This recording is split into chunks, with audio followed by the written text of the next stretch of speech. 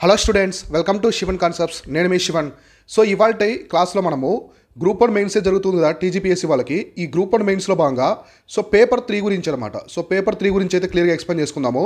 Already మనము last మీ tips అనమాట ఇవన్నీ కూడా నేను మీకు క్విక్ టిప్స్గా ఎక్స్ప్లెయిన్ చేస్తూ ఉంటాను. చాలా వరకు మీకు అయితే హెల్ప్ అవుతాయి అనమాట సో ఆల్రెడీ ఇది పేపర్ త్రీకి అంటే జిఎస్లో సో జిఎస్ టూ అనమాట జిఎస్ వన్ పేపర్ అయితే ఇవాళ కంప్లీట్ అయిపోయింది కదా. సో దీనికి సంబంధించి చూస్తే ఫస్ట్ కొన్ని థింగ్స్ చెప్తాను. ప్రతిసారి లాగా టిప్స్ అయితే చెప్తాను. సో ఫైనల్గా వచ్చి మనమైతే రిమైనింగ్ అయితే డిస్కస్ చేసుకుందాం. ఓకేనా? సో ఇప్పుడు మనం చూసుకుంటే ఈ పేపర్లో మీరు ఫస్ట్ కాన్స్టిట్యూషన్ అనమాట సో ఇండియన్ కాన్స్టిట్యూషన్ కదా. ఈ పేపర్లో ఎలా రాయాలంటే ఖచ్చితంగా మీరు రాసే ఆన్సర్స్లో ఆర్టికల్స్ సో ఆర్టికల్స్ ఒకటి ఇంకా అమెండ్మెంట్స్ రాజ్యాంగ సవరణలు ఉంటాయి కదా అమెండ్మెంట్స్ దానికి సంబంధించిన ఇయర్స్ కూడా మెన్షన్ చేయాలి. తర్వాత సుప్రీంకోర్టు జడ్జిమెంట్స్ అనమాట సో సుప్రీంకోర్టు యొక్క జడ్జిమెంట్స్ ఏమున్నాయి? అలానే ఇంకా మనకి కమిటీసు సో కమిటీసు కమిషన్స్ కావచ్చు సో కొన్ని యాక్ట్స్ కావచ్చు పాలసీస్ ఇట్లాంటివన్నీ ఇంక్లూడ్ చేయండి. ఇలాంటివి ఇంక్లూడ్ చేయకుండా మీరు ఆన్సర్ రాశారంటే చాలా జనరల్గా ఉంటుంది. మార్క్స్ చాలా వరకు కోల్పోతారనమాట కాబట్టి మీరు రాసే ప్రతి ఆన్సర్లో కూడా వాటికి సంబంధించి ఎటువంటి ఆర్టికల్స్ ఉన్నాయి ఇవన్నీ చూడాలి. తర్వాత కొంతమంది పర్సనాలిటీస్ ఉంటారనమాట సో పర్సనాలిటీస్ యొక్క పేర్లు కూడా మీరైతే ఇక్కడ మెన్షన్ చేయాలి. ఏది ఇండియన్ కాన్స్టిట్యూషన్కి సంబంధించి. మీకు సెక్షన్ బి సెక్షన్ టూలో ఉంటుంది. ఇది పేపర్ త్రీలో సెక్షన్ త్రీలో ఉంటుందన్నమాట. కాబట్టి మీరు రాసే ఆన్సర్ ఖచ్చితంగా ఆర్టికల్స్ మెన్షన్ చేయండి. ప్రతి ఒక్క దగ్గర అంటే ప్రతి పాయింట్లో మీకు ఎక్కడైతే ఆర్టికల్ స్కోప్ ఉందో అక్కడ ఆర్టికల్ ప్రకారం ఇవ్వండి. So according to article fourteen అని చెప్పేసి ఆర్టికల్ ట్వంటీ వన్ అని చెప్పేసి మెన్షన్ చేయండి. చాలా నీట్గా ఉంటుంది. ఏమైనా అమెండ్మెంట్కి సంబంధించి కావచ్చు స్కెడ్యూల్కి సంబంధించి అయినా. సో స్కెడ్యూల్స్ మనకి టోల్ ఉన్నాయి కదా. ఈ స్కెడ్యూల్కి సంబంధించినటువంటి పన్నెండు స్కెడ్యూల్కి సంబంధించి కూడా ఏవైనా మెన్షన్ చేస్తుంటే మెన్షన్ చేయాలి. ఇలా మీరు కాన్స్టిట్యూషన్ సంబంధించి నీట్గా అయితే ఇవ్వాలి. అయితే ఇప్పుడు ఈ కాన్స్టిట్యూషన్ పరంగా మనకి ఏమైనా ఇంపార్టెంట్ టాపిక్స్ ఉన్నాయా? సో రాజ్యాంగం పరంగా మనకి ఏమైనా ఇంపార్టెంట్ టాపిక్స్ ఉన్నాయంటే కొన్ని అయితే ఎక్స్ప్లెయిన్ చేస్తాను మీకు. అంటే మనం ప్రిడిక్ట్ చేయొద్దు. సో ప్రిడిక్ట్ చేయొద్దు కాకపోతే కీ ఏరియాస్ అనమాట ఇవి. ఇవి బాగా మీరు చూడండి ఓకేనా? సో ఫస్ట్ వన్ మనం చూసుకుంటే evaluation of the Indian constitution ఇది మీరు నెహ్రూ రిపోర్ట్ దగ్గర నుంచి నీట్గా రాయండి. So ఎవాల్యూ evaluation of the Indian constitution నీట్గా మనకి బ్రిటిష్ టైంలో నెహ్రూ రిపోర్ట్ దగ్గర నుంచి రాజ్యాంగం మనకి ఏర్పడినంత వరకు ప్రతి ఒక్క పాయింట్ కూడా నీట్గా రాయాలన్నమాట. అక్కడ డ్రాఫ్టింగ్ కమిటీ యొక్క రోల్ కావచ్చు ఎటువంటి ఎక్కడెక్కడి నుంచి మనం ఏ ప్రొవిజన్స్ తీసుకున్నాము దానిలో స్ట్రక్చర్ ఎలా ఉంది ఇవన్నీ కూడా మీరు చూసుకోవాలి. ఓకేనా? ఇదొకటి. తర్వాత సాలియంట్ ఫీచర్స్ అనమాట సో భారతదేశానికి సంబంధించినటువంటి salient features of Indian constitution ఈ క్వశ్చన్ కూడా చూసుకోండి. ఈ టాపిక్ కూడా ఎక్కువ అడిగేదానికి ఆస్కారం అయితే ఉంది.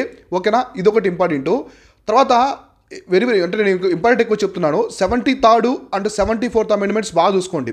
Seventy third seventy fourth amendment అంటే అర్థం ఏంటి? ఇది పంచాయతీరాజ్ సిస్టము ఇది వచ్చేసి మున్సిపాలిటీస్ అనమాట సో ఇది కూడా పక్కాగా వచ్చేదానికి ఆస్కారం అయితే ఉంటుంది. ఇలాంటివి చూసుకోవాలి. తర్వాత మీరు గవర్నర్కి సంబంధించినటువంటి పవర్స్ అనమాట సో గవర్నర్ బాగా వార్తలు కాబట్టి గవర్నర్కి సంబంధించినటువంటి పవర్స్ అండ్ ఫంక్షన్స్ ఏమున్నాయి? సో ప్రతి ఒక్క పాయింట్ డిస్క్రిప్షన్ పవర్స్ ఏమున్నాయి? లెజిస్లేటివ్ పవర్స్ ఏమున్నాయి? తర్వాత మనకి రిమైనింగ్ పవర్స్ ఉంటాయి కదా వాటంటికి సంబంధించి కూడా మీరు చూసుకోవాలి. అంటే ఇక్కడ నేను టాపిక్స్ చెప్తున్నాను కదా ఎలా అడగరు? డైరెక్ట్గా ఎలా అడగరు? ఇప్పుడు మీకు salient features of the Indian constitution రాయమంటారు.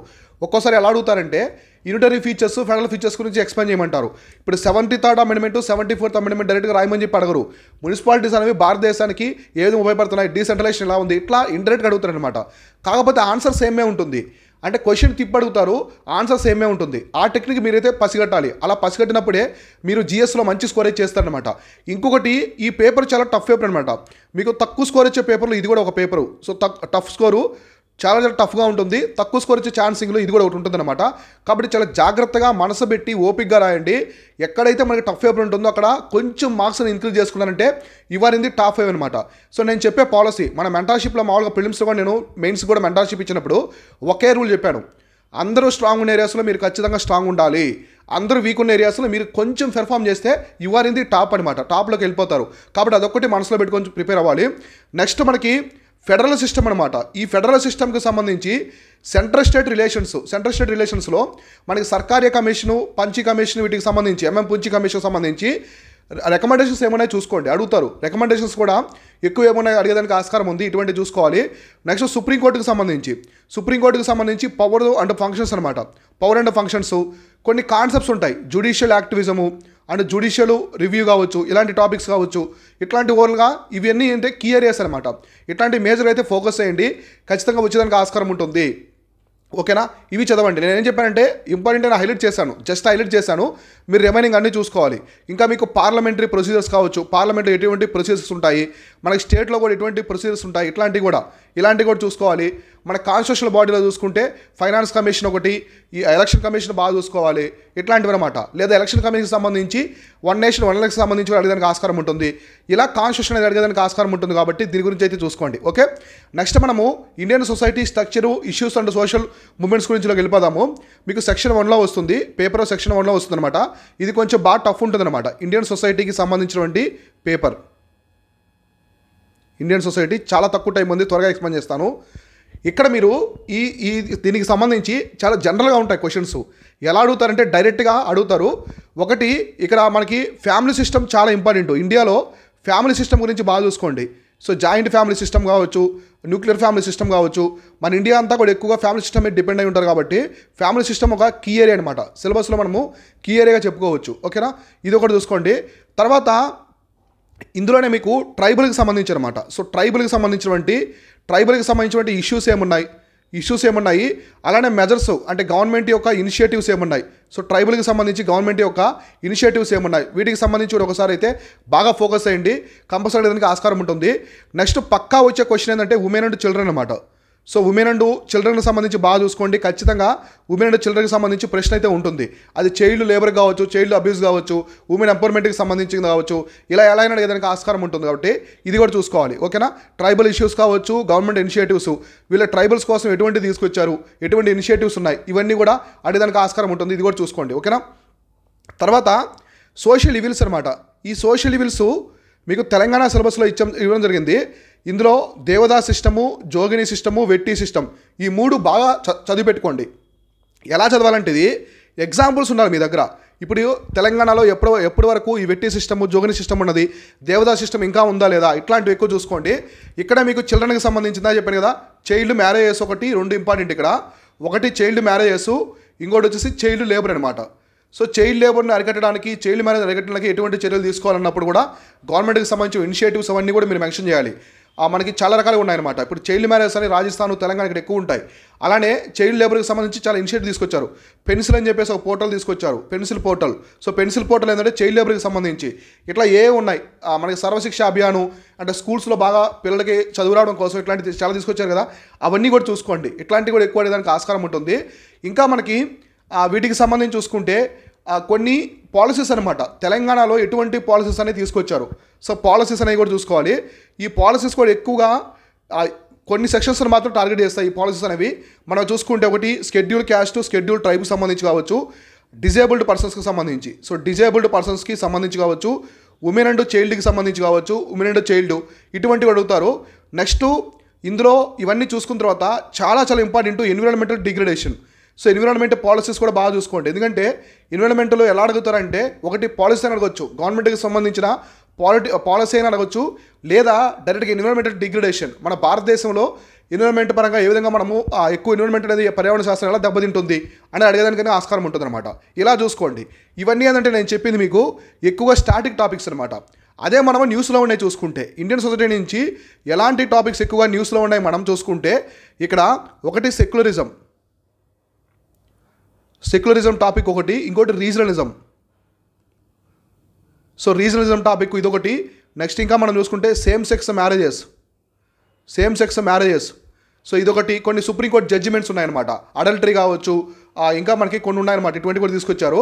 So section అని చెప్పేసి కొన్ని. ట్రిపుల్ తలకు సంబంధించి ఇట్లాంటివి కూడా అడిగేదానికి ఆస్కారం ఉంటుంది. ఇది కూడా చూసుకోండి. ఓకేనా నెక్స్ట్ కరప్షను ఈ అర్బనైజేషన్ కావచ్చు అగ్రికల్చర్ లేబర్ ప్రాబ్లమ్స్ ఇవన్నీ కూడా చాలా స్టాటిక్ టాపిక్స్ అనమాట ఇట్లాంటి కొన్ని కీ ఏరియాస్ అయితే ఫోకస్ చేయండి. రెమనీ మీరు చదివేసి ఉంటారు కీ ఏరియాస్ వరకు మీరు ఫోకస్ చేయండి. ఓకేనా నెక్స్ట్ మనము సెక్షన్ త్రీకి సంబంధించి. సెక్షన్ త్రీకి సంబంధించి గవర్నెన్స్ చూసుకుంటే సో గవర్నెన్స్ సో ఈ పేపర్ చాలా టఫ్ ఉంటుంది. మళ్ళీ మళ్ళీ చెప్తున్నాను. బాగా ఫోకస్ చేయాలి మీరు. సో నీట్గా చూసుకోండి. గవర్నెన్స్ పేపర్లో సింపుల్గా మీకు ఈ గవర్నెన్స్ సంబంధించి బాగా చూసుకోవాలి. ఒకటి ఈ గవర్నెన్స్ ఈ గవర్నెన్స్ సంబంధించిన కాంపోనెంట్స్ ఫ్యాక్టర్స్ ఇది అడుగుతారు బాగా ఫోకస్ చేయండి. గుడ్ గవర్నెన్స్ ఇట్లాంటి ఈ గవర్నెన్స్ అంటారు కదా ఈ గవర్నెన్స్ సంబంధించి ఏమి ఉన్నాయి? అసలు గుడ్ గవర్నెన్స్ అంటే ఏంటి? గుడ్ గవర్నెన్స్లో ఎటువంటి ఫ్యాక్టర్స్ ఉంటాయి? ఇది చాలా ఫేవరెట్ క్వశ్చన్ యూపీఎస్సీలో ఎప్పుడు అడుగుతూనే ఉంటారు. ఈ గవర్నెన్స్ ఒకటి గుడ్ గవర్నెన్స్ సంబంధించి మీరైతే బాగా చూసుకోవాలి. ఇక్కడే మీరు చాలా ఉంటాయన్నమాట. వెరైటీ ఆఫ్ థింగ్స్ అనే ఉంటాయి.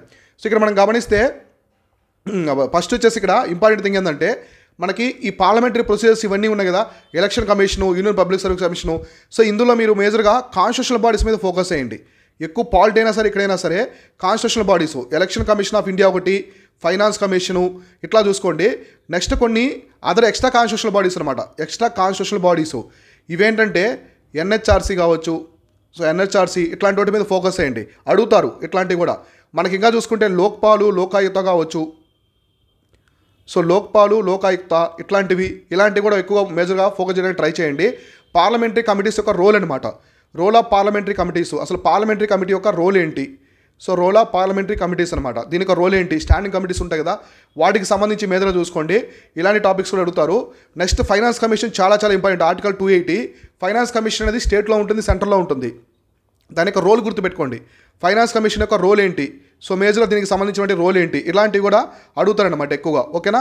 Next programmes. సో ఈ ప్రోగ్రామ్స్లో స్కీమ్సే ఎక్కువ ఉండేదానికి ఆస్కారం ఉంది. స్కీమ్స్ అనమాట మనకి రూరల్ డెవలప్మెంట్ ఉమెన్ ఎంపవర్మెంట్కి సంబంధించి కావచ్చు ఆ పావర్టీని తగ్గించడానికి ఇక్కడ మీరు సెంట్రల్ గవర్నమెంట్కి సంబంధించి సెంట్రల్ గవర్నమెంట్ ఒకటి అలానే స్టేట్ గవర్నమెంట్ అంటే తెలంగాణ గవర్నమెంట్కి సంబంధించి మేజర్ స్కీమ్స్ అనమాట సో మేజర్ స్కీమ్స్ ఏమున్నాయి? ఈ స్కీమ్స్ కూడా ఎలా ఉండాలంటే మీకు సిలబస్లో ఇచ్చిన టాపిక్స్ ఉన్నాయి కదా వీటి మీద బాగా ఫోకస్ చేయండి. ఇప్పుడు పావర్టీ అన్నారు అన్ఎంప్లాయ్మెంట్ అన్నారు స్కిల్ డెవలప్మెంట్ మిషన్స్ కావచ్చు పావర్టీకి సంబంధించి ఎటువంటి ఎంజీ నరేగా ఇట్లాంటివి మీరు ఇప్పుడున్న ప్రభుత్వంలో రాయాల్సిన అవసరం లేదు. పాత అయినా రాయొచ్చు అనమాట సో పాత మనకి ఇప్పుడు ఎంజీ నరేగా ఉంది రెండు వేల ఐదు తీసుకొచ్చారు. సో ఉపాధి హామీ పథకము. కానీ ఇప్పటికి మీరు మనం రాయొచ్చు అనమాట జవహర్ రోజ్గార్ యోజన ఇట్లాంటి పాతవన్నమాట అయినప్పుడు కూడా మీరు ఇప్పటికీ మెన్షన్ చేయొచ్చు. పా- పా- పావర్టీని తగ్గించడానికి అన్న అంత్య యోజన అని చెప్పేసి ఇట్లా చాలా ఉన్నాయి కదా అట్లాంటివి. దీన్ దయాలు అన్న అంత్యోజన అంత అంత్యయోజన అని చెప్పేసి దాన్ని తీసుకొచ్చారు. అలాంటివి అనమాట సో ఓకేనా? అట్లాంటివి కూడా చూసుకోండి. అవన్నీ కూడా పాత అయినప్పుడు కూడా ఎగ్జామినేషన్ పరంగా మీరైతే రాయొచ్చు అనమాట సో నెక్స్ట్ మనకి ఇంకా ఇంపార్టెంట్ వచ్చేసి పీపీపీ పబ్లిక్ ప్రైవేట్ పార్ట్నర్షిప్ అనమాట చాలా ఇంపార్టెంట్. ప్రేంట్ నేషనల్ డెవలప్మెంట్లో ఎక్కువగా పబ్లిక్ ప్రైవేట్ పార్ట్నర్షిప్. ఇప్పుడు హైదరాబాద్ ఎల్ఎన్టీ కావచ్చు చాలా పోర్ట్ సిటీస్ ఎయిర్పోర్ట్స్ అదానికి సంబంధించి చాలా వరకు కూడా గవర్నమెంట్ ప్రైవేట్ రెండు కలిసి చేస్తున్నాయి. ఇటువంటివి చూడండి. అలానే సెల్ఫ్ హెల్ప్ గ్రూప్స్ అనమాట సెల్ఫ్ హెల్ప్ గ్రూప్స్ కూడా మీరు ఒకసారి ఫోకస్ అయ్యండి ఎగ్జామినేషన్ పరంగా దానికి ఆస్కారం ఉంటుంది. సెల్ఫ్ హెల్ప్ గ్రూప్స్ కావచ్చు. అలానే దీంతో పాటుగా ఎన్జిఓ రోలు అసలు నాన్ గవర్నమెంట్ ఆర్గనైజేషన్ యొక్క రోల్ ఏంటి? సో సొసైటీలో ఎన్జిఓస్ యొక్క రోల్ ఏంటి? వీటికి సంబంధించి కూడా బాగా చూసుకోండి. రీసెంట్గా రతన్ టాటా గారు చనిపోయారు కాబట్టి సిఎస్ఆర్ మీద ఫోకస్ చేయండి. సిఎస్ఆర్ అంటే కార్పొరేట్ సోషల్ రెస్పాన్సిబిలిటీ అంటే కంపెనీస్ బాగా ప్రాఫిట్ ఇచ్చిన తర్వాత కొంత మనీని వాళ్ళు ఎడ్యుకేషన్ పరంగా హెల్త్ పరంగా ఆర్ట్ అండ్ కల్చర్ పరంగా ఇంకా చాలా రకాలుగా స్కూల్స్ పరంగా ఇట్లా ఉపయోగిస్తారనమాట దానికి సంబంధించి కూడా చూసుకోండి. ఏ కంపెనీలు ఎక్కువగా సిఎస్ఆర్ ఇచ్చున్నాయి? ఫర్ ఎగ్జాంపుల్ హెచ్సిఎల్ ఉంది. హెచ్సిఎల్ పౌండ్ వచ్చేసి శివనాడారు. శివనాడారు రోజుకి రెండు కోట్లు ఇస్తారు. సో రోజుకి టూ క్రోర్స్ అనమాట ఆల్మోస్ట్ ఆయన సంవత్సరానికి మూడు వందల ఎనభై ఐదు కోట్ల రూపాయలు సిఎస్ఆర్ కింద ఇస్తారు. ఎందుకు ఇస్తారంటే ఈయన ఎక్కువ ఎడ్యుకేషన్ మీద ఫోకస్ చేస్తారు. ఎడ్యుకేషన్ హెల్త్ సెక్టర్ మీద ఎక్కువ ఇస్తారనమాట కాబట్టి ఇట్లాంటివి అనమాట ఎగ్జాంపుల్స్ ఇలా మెన్షన్ చేయాలి మీరు. టాటా వాళ్ళకి సంబంధించి కావచ్చు.